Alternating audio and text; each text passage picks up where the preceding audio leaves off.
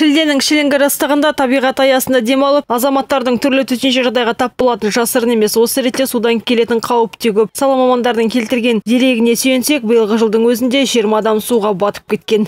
Суға кеткен жиырма адамның ішінде төртеуі дейтін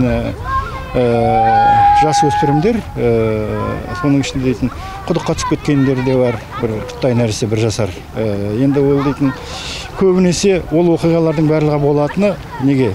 Әке шешелері кішкентай балаларды жіберіп қояды. Қарамайды арттарынан екіншісі балыққа барамыз дейді или суға түсеміз дейді. Арақ ішеді күн ысыда басы айналып жүрегі шыдамайтындар да бар. Сондай суға батып кеткен. Судан келетін қауіптің алдын алу үшін 2017 жылдан бастап төтеншеліктер мен білім басқармасы бірлесе отырып бүлдіршіндерге жастайынан жүзіп үйретуде қазіргі таңда жаттығатын орындардың саны 26 сала мамандары балаларды жастайынан жүзіп үйретсек өлім жітімнің алдын алуға болады дейді. Орал қаласының тұрғыны арайлым ерсайын қызы да оқушыларға арналған арнайы сабақтың барын біліп жабдықталған жағалауға балаларын алып келген. Біздер көп естиміз құтқару курстары туралы. Бүгін міне балаларымызды алып келдік.